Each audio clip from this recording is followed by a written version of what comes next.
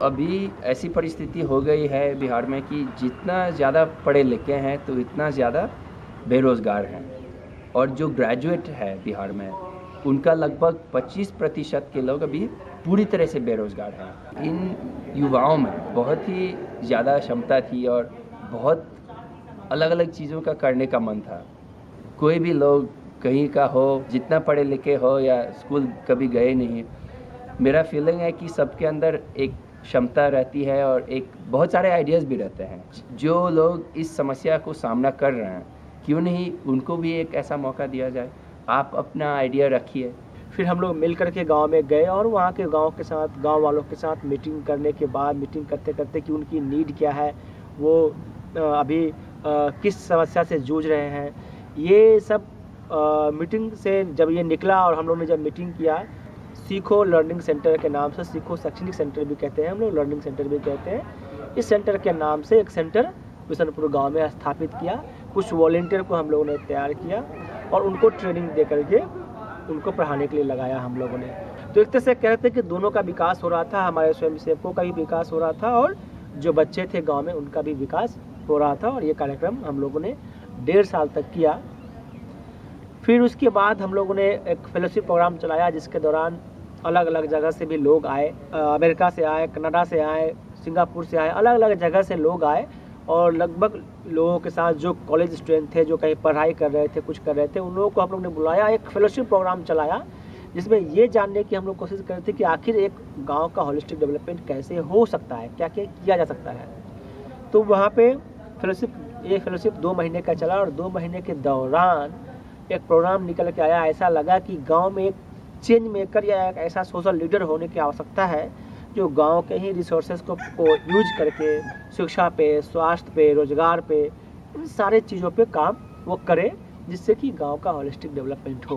Project potential 22 अगस्त 2014 में शुरू हुआ था और उस समय में हमारी एक विजन थी कि हम एक आदर्श ग्राम बनाना चाह रहे थे वहाँ के ग्रामीण युवाओं के द्वारा।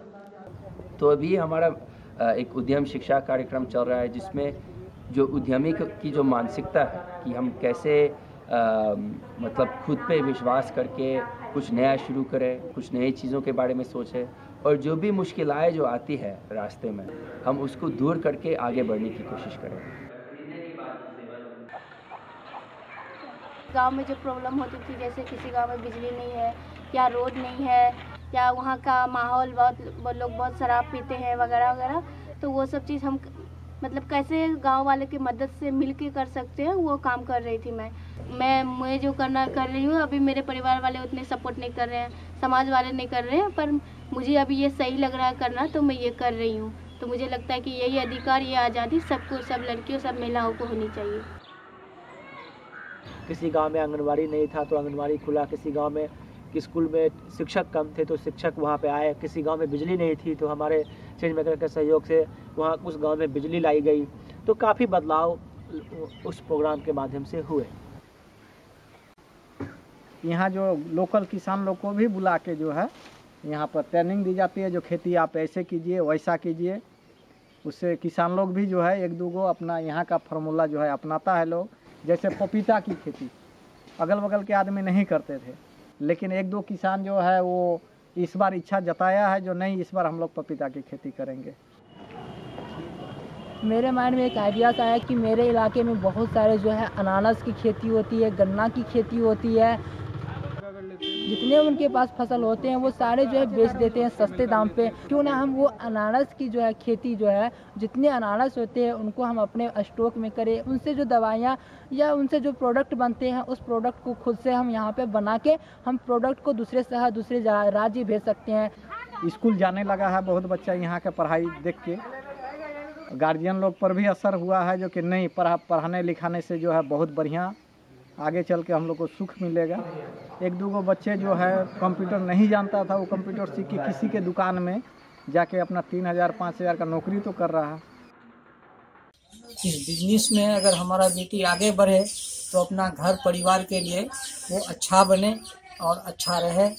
इसीलिए आप लोगों को भी हम धन्यवाद दे रहे हैं, जो आप लोग हमारा बेटी को चुने और चुन करके साथ में लिए हैं। इसमें और खुशी का बात क्या है?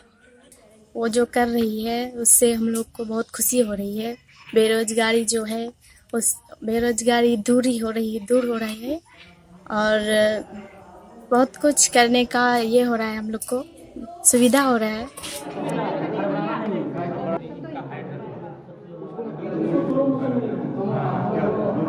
तो एक्टिविटी इस प्रकार से होती है कि मतलब उनको, अगर हम डायरेक्ट बताएँ उनको कि नहीं, आपके अंदर कॉन्फिडेंस होना चाहिए तो उसी से उनके अंदर कॉन्फिडेंस नहीं आएगा। लेकिन अगर कोई ऐसा एक्टिविटी होता है, जिसमें उनको कुछ मुश्किल करना पड़े, है ना? कोई ऐसा एक्टिविटी जिससे उनको एहसास हो, तभी वो उनके अंदर उत्पन्न होगा। तो उस तरह की एक्टिविटीज़ हम लोग करवाते रहते हैं, जिसमें वो मैसेज छिपा हुआ है और एक्टिविटी को करने के बाद उनको खुद एहसास होता है। एक और चुनौती है कि अभी हम लोग दान पे आधारित हैं। हम दान मांगते हैं लोगों से और अपनी संस्था को उसी से चलाते हैं। मगर फिर भी कई सारे लोग हैं जो हमसे जुड़े हुए हैं, इंडिया भर, जो अलग अलग तरीके से मदद करते रहते हैं।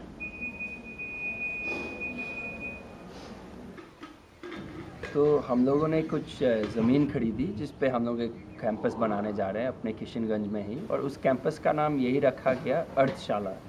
अर्थ इंग्लिश के लिए, इंग्लिश अर्थ के लिए पृथ्वी जो बोलते हैं। और सेकंड मतलब हिंदी का अर्थ, यानी कि एक जो आर्थिक वाला, और सेकंड जो एक अर्थपूर्ण ज़िंदगी तो यानी कि एक जगह जिसके माध्यम से हम पर्यावरण के लिए, खुद की कमाई के लिए और एक अर्थपूर्ण ज़िंदगी के लिए हम लोग काम कर सकें। तो उसकी विज़न यही है कि वहाँ पे बहुत सारे यूथ आएँगे, उनको ट्रेनिंग मिलेगी और अपने आइडियाज़ पे वो काम करते रहेंगे।